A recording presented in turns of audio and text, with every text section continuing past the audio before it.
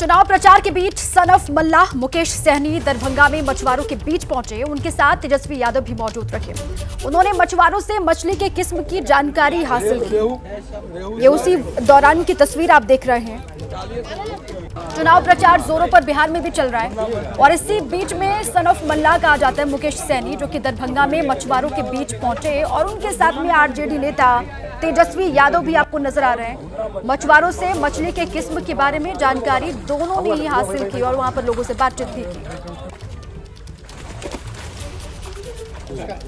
रेहू रेहू रेहू निकालिए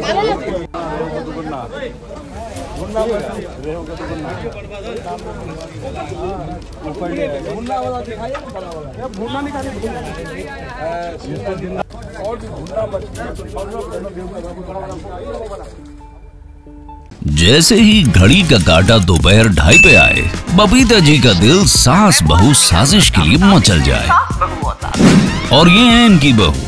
पूरे दिन ऑफ़िस की टेंशन हो जाए गॉन जब ये करें अपना फेवरेट शो फ्री टाइम पे ऑन इनकी तरह, आप भी देखें अपना फेवरेट शो अपने टाइम पर. और डाउनलोड कीजिए एबीपी लाइव ऐप अपने स्मार्ट टीवी पर.